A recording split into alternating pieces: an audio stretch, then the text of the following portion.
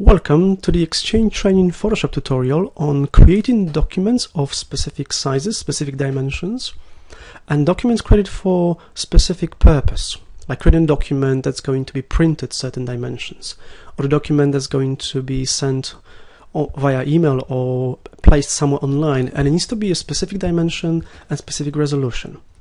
So we'll be here creating new document, we'll be making sure it's the right dimensions, and we'll be adding this image here as an example. So say we've got this image in here, and we're going to place it on a new document. So you open the image you want to use, then you create a new document using File New, or Control N on Windows, or Command N on a Mac, and get this new document dialog box. You can give your document name straight away. So for example, I'll be creating a document here that's going to be printed say A5 size. So I'm going to call it print underscore A5. For document type, we'll use some presets. So in this case, we'll be using international paper because we're going to print it. If you create something for the web, you can use the web preset. I'm using international paper. Now, which preset you use in here depends on what size you're going to use it. For example, if you print something A4 size, use international paper. But if you want to print it letter size, the US size, which is slightly wider, slightly longer than A4, use US paper. In this case, we use international paper. For size, we'll use A5. Photoshop will make sure dimensions are right. You can always change units of measurements, but we'll just leave it because Photoshop will make sure this is an A5 document, so that's okay. Because you're creating a document for print, Photoshop will also make sure the resolution is set to 300 ppi, 300 pixels per inch color mode. Now, if you're going to print it, now this depends. If you're going to print it at home, or, or let's say if you're going to print it on a home printer, RGB color, possibly, or if you have a CMYK printer, then CMYK color. If you're going to send it for print to a professional printer, commercial printer, then we'll be using CMYK color in here. Okay. For background contents, white, any color you want. And for now, we'll just leave it white, and I'm going to show you how to change the color really easily. So let's leave it as white, that's okay. On advanced, we'll leave it for now, I'll just click OK. And you got a new document on your dimensions. If you want your document to be landscape mode instead of portrait mode, you can easily rotate it using image menu, image rotation, and you can rotate it clockwise or counterclockwise. So it's this size. Okay, I'm just going to zoom in a bit, view zoom in, or control plus or command plus to make it bigger. Now we'll switch back to the document in here, to the image, and we're going to add it into our document. So we'll use the move tool, click on the image, hold the mouse button down, drag it, keep holding mouse button down all the time. Drag it to the tab with the, your document, hold there for about a second so the document appears, keep holding mouse button down, move the cursor down and when your cursor is over the image you won't have a preview no. You just release the mouse button and the image will appear. Okay? So that's the image. If you want to position it you can now use these amazing new smart guides in Photoshop CC 2015 so we can easily position it in the center vertically and it will snap to the center here as well. You may see the guide but if you don't it will snap to the center so it's in the center. If you want to make it bigger, now you need to be really careful because if you're making the image bigger, the image will start losing the quality. So to start with, you make sure that the image is of high quality. Okay. But if it's just a matter of making it just a little bit bigger, that's okay. We can just use edit, transform, scale.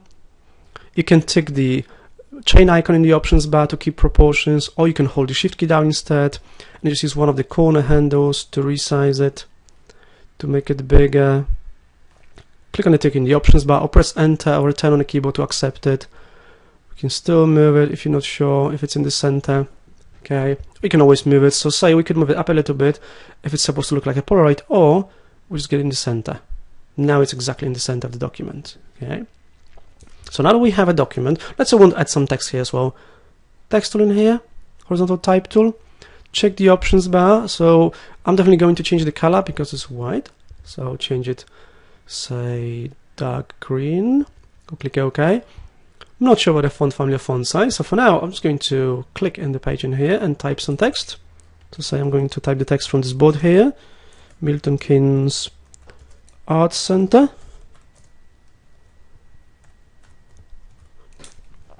And I'll just accept it by clicking on the tick in the options bar in here. And I'll make it smaller, it's too big. A little bit smaller I'll keep the font in here. And with the move tool. Just move it. So it's exactly in the center in here. To make the image look a bit better what we can also do is put a shadow behind it. So in the layers panel you select the layer of the image. I would rename it here as well so this would be image. And then you go to layer menu down to layer style and drop shadow. Alternatively you could click on the FX icon at the bottom of the layers panel. This will do the same. So layer style drop shadow I'll move the window aside in here. It's quite big so you're not going to see the entire window but you can see the shadow around in here. So I'm just going to drop the distance a little bit because it's a bit too far and the size as well. Typically what you do is you increase the distance to position it far away from the object like in here. If you want to soften the shadow you increase the size. And by default the shadow should be on this side here on the right and bottom. That's a bit too much. So I'm going to drop the distance a little bit. And the size as well. Let's click OK. You can always edit it. And that's our document. So now we're ready to export it. So in this case keep in mind we create a document that's going to be printed. And let's say we're going to send it for print to a printer. So when we save it file save as we're going to save it as a PDF document. Hmm. Adobe calls it here a Photoshop PDF now in here okay. But this will create a standard PDF document. I'm just going to save it on a desktop. Okay so I'll keep the file name save as Photoshop PDF perfect. We'll just save that. You get this message about the changes in settings. That's okay. We'll just click OK in here. Now when you're printing you typically want to have either the high quality print or if you're going to print it at a commercial printer let's say here in the UK or anywhere in Europe a standard we use and standard that your printer would ask you about is the PDF X1A 2001 and that's what I'm going to use in here. Okay. And then we're just going to save it. So we'll click on save PDF and the document will be saved in your chosen location. It's a CMYK document so this this file, uh, color space we use and the document is ready to go and that's how you can create documents of specific dimensions specific sizes resize images to make sure they're the right size add some text add some layer effects like a drop shadow and export it to appropriate file format